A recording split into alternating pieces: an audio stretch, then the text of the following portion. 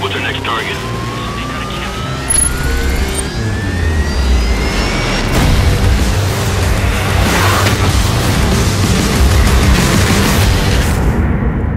Hej, witam was, jestem Korgames, a to jest gra e, Ghost Recon Wildlands e, beta otwarta.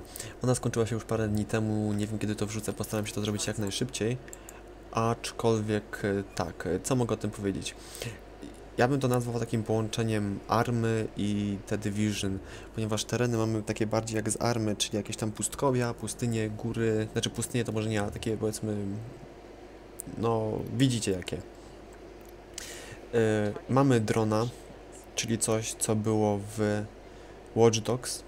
Tworzy to Ubisoft, między innymi. Więc mogę podejrzewać, że to takie, wiecie, korzystanie nawzajem. I tyle. Y, Co mogę powiedzieć? Styl poruszania się bardzo jest podobny według mnie do tego z The Division. I zaraz zobaczycie, że niewiele się mylę. E, Fajne jest to, że możemy stworzyć własnego komandosa. Ja tutaj stworzyłem, jak widzicie sobie, taką oto postać tam i, i, i tyle. Możemy, ko- możemy konfigurować wszystko. E, Spodnie, kamizelki, bluzkę, e, okulary, e, jakąś chustę na twarz, wszystko. E, Kolor włosów, włosy oczywiście, elementy twarzy. Nie jest to, nie są to jakieś, nie wiem, gdybym powiedział, że nie są to Simsy, to bym źle się wypowiedział, ponieważ w Simsach jest bardzo ubogi, wbrew pozorom, system kreacji postaci. Nie jest to, nie wiem, powiem, Skyrim na modach i, i tyle. Ja bym powiedział, że to, co tutaj jest y, lekkim minusem, to według mnie y, rozmiar i wielkość mapy. Bo to teoretycznie jest dobrze, kiedy jest dużo miejsca. Tylko, że gdy ja spojrzałem na mapę, to mnie to trochę przytłoczyło. I powiem szczerze, że nie mam ochoty odwiedzać wszystkich tych punktów.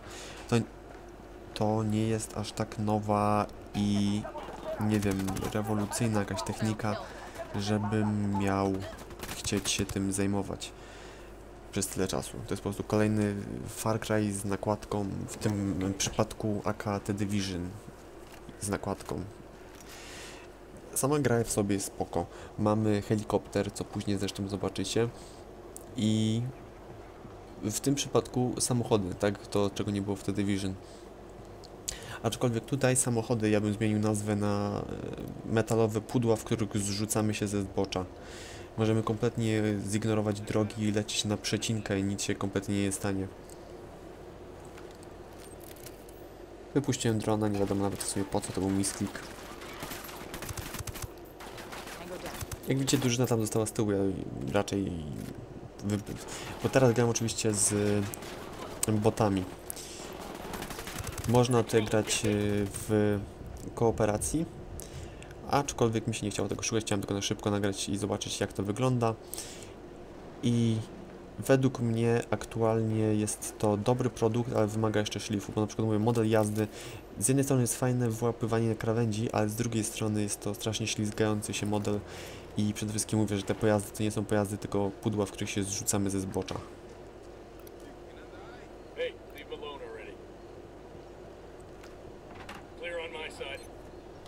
Y, To co robię to jest zbieranie zapasów, czyli znowu w Metal Gear latamy i zaznaczamy kontenery, super. Y, Nie, tutaj jest nam potrzebne to nie do rozbudowy bazy, przynajmniej nie w becie, a do umiejętności. Do wykupywania umiejętności jest to potrzebne i według mnie jest to całkiem spoko. Mechanizm. Farm. Go on. Then you can see what we do to people who fuck with us. People like you.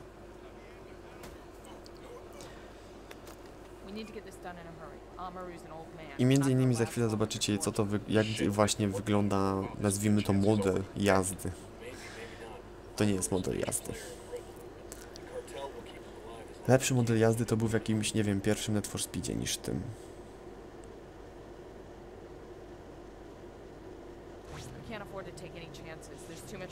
Y. Nie musimy naszych kompanów y, zabierać ze sobą, jeśli to są boty, one się automatycznie teleportują.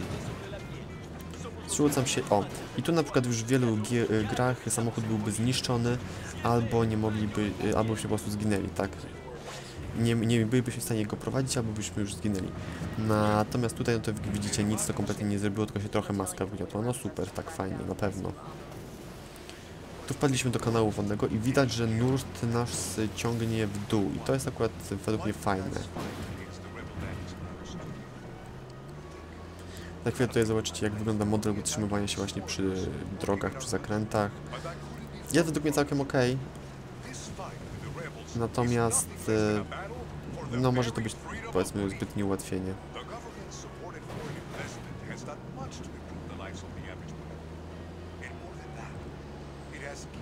O, tutaj idealnie zobaczycie, co to znaczy właśnie.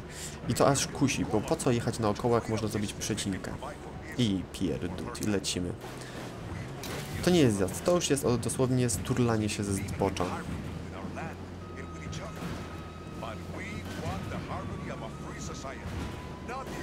Haratałem po kamieniach, po drzewach, po krzakach, po wszystkim. I co? I dupa, i nic. Kompletnie właśnie nic. Samochód zaczął się tylko dymić, ale to kompletnie nic nie zmienia, bo dalej mogę go prowadzić. Jest to według mnie, no, dość słabe.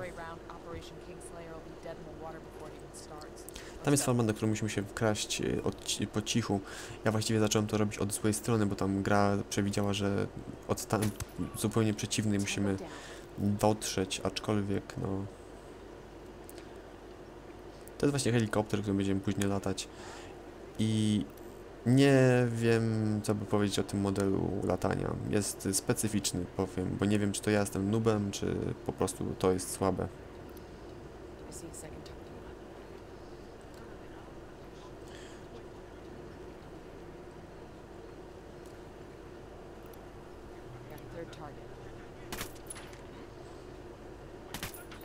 No i tu trochę zebałem. Nie zabiłem tamtego i tamten się chyba szczai. No niestety. I właśnie zabiją nam zaraz więźnia.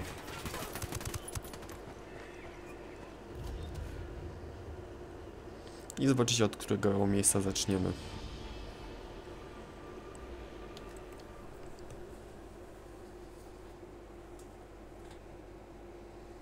Gramy dużo gadżetów, to jest plus. Że możemy dużo pierdół się zajmować, aczkolwiek Zastanawiam się, czy to nie będzie czasem coś takiego, że mamy nie wiadomo ile tego, a tak naprawdę będziemy używać, nie wiem, może trzech, dwóch rzeczy. Ludzie tutaj wykonują jakieś tam swoje prace na polu, łażą i tak dalej. Świat wygląda dość dobrze, aczkolwiek według mnie jest lekko zbyt jasny, zbyt bezbarwny. Ale wygląda w porządku.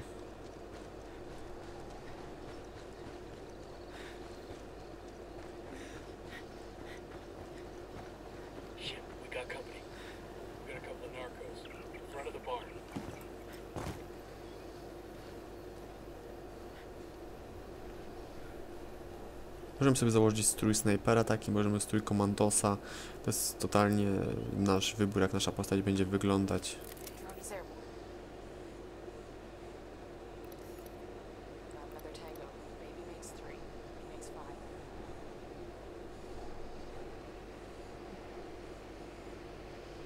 Y, Na początku dron ma bardzo słaby, mały zasięg i baterię, więc trzeba będzie dość, specy- dość y, szybko go ulepszyć, bo inaczej to nie będzie dobry i przydatny gadżet.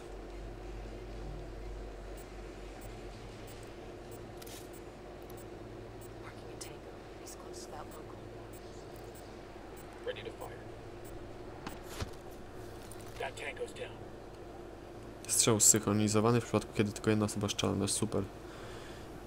Jeśli masz problemy z synchronizacją w tym momencie, no to masz pewien problem. E, Tak jak w Metal Gearze, mniej więcej, bo w Metal Gearze był wtedy ten moment refleks. E, Kiedy przeciwnik nas zobaczy, możemy go jeszcze zastrzelić, zanim wezwie posiłki.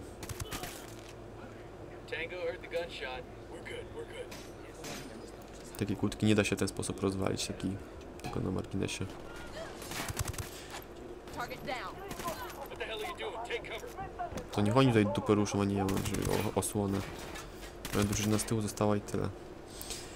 E, Na miejscu możemy też znaleźć skrzynię z uzbrojeniem, z której możemy podnieść jakąś broń albo amunicję. Tak jak na przykład tutaj, tutaj akurat nie możemy podnieść broni. Tak wygląda wyposażenie i, i tyle. No. Widzicie. Jest trochę tego, tylko właśnie się obawiam, czy to nie będzie tak, że jest na pokazówkę, użyteczne będą 3-4 bronie, a reszta to będą te same praktycznie, tylko z inną nakładką graficzną. Umiejętności też trochę mamy, ale one według mnie do gry solowej są nieprzydatne kompletnie. To jest fajne jak się gra w teamie z kimś, natomiast solowo bezużyteczne.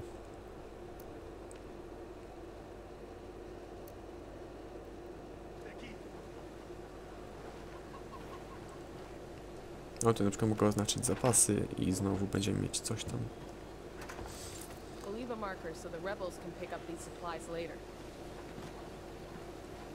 Przydałby się jakieś na przykład, nie wiem, inteligencję tym kurczakom dać, że jak się do nich podchodzi, to one na przykład odbiegają, no bo sorry, co to ma być?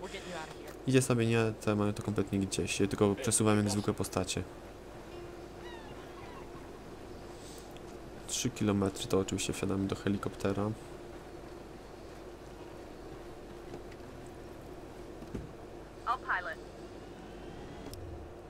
No i tu właśnie mamy mm, e, sterowanie. Że WS mamy nachylenie, AD tak samo, a shiftem robimy tylko przepustnicę mniej lub wie, kontrolem więcej. Znaczy na odwrót, shiftem więcej, kontrolem mniej. I tutaj teraz widzicie, że na razie idzie, ale w Battlefieldzie, jeśli bym chciał na przykład podwyższyć lot, no to po prostu sobie przechylam myszkę i sobie podwyższam lot.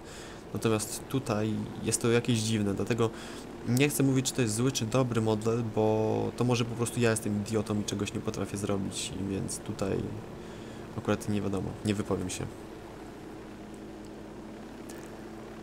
Zaraz jak zresztą przylecimy nad tą górą, to będzie dobrze. To, co mi się tutaj nie podoba, to to, że te wszystkie pojazdy i rzeczy są tak wytrzymałe. Według mnie zdecydowanie bardziej powinny się one rozwalać i nie mówię o tym, że taka totalna, nie wiem, Mad Max i tak dalej, no ale sorry, żebym się w takim samochodzie zwalił z góry już dwukrotnie i nic by mu nie było, no to to jest trochę słabe. Tutaj helikopterem zresztą też będzie twarde lądowanie, więc zobaczycie, że to kompletnie nie ma znaczenia. Jest burza. Burza na przykład też by mogła na przykład zmienić zachowanie helikoptera, że jest szansa, że piorun nas uderzy, czy coś takiego. Jakieś zdarzenia losowe, że na przykład tornado idzie i musimy od niego uciec. To, jest, to by było też dobre.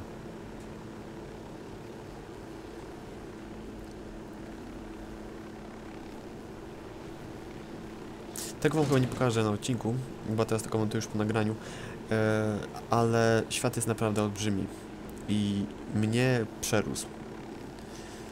Mówię, ja raczej nie kupię pełnej wersji gry, bo no bo po prostu ja to już widziałem, tak? To jest The Division z helikopterami i zmienioną grafiką i samochodami, tak? To wszystko.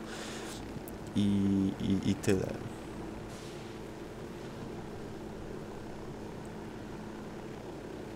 Tu trochę piłuje silnik, widzicie.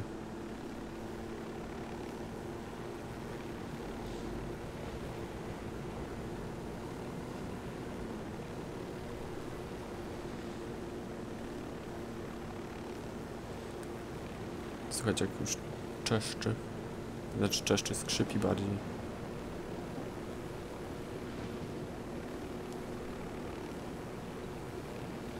No i teraz mamy lądowanie. I powiedzcie, czy po takim lądowaniu nic helikopterowi by się nie stało?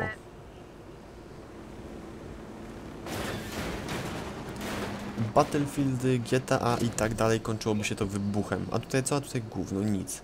Podejrzewam, że już tym nie polecę, bo się skrzydła urwały, znaczy skrzydła, łopatki. Ale no, sorry, nie. I to tyle, nasza postać idzie, ja myślę, że tutaj zakończymy ten, mm, tą pokazówkę i tyle. Dzięki za to, że oglądaliście i hejos.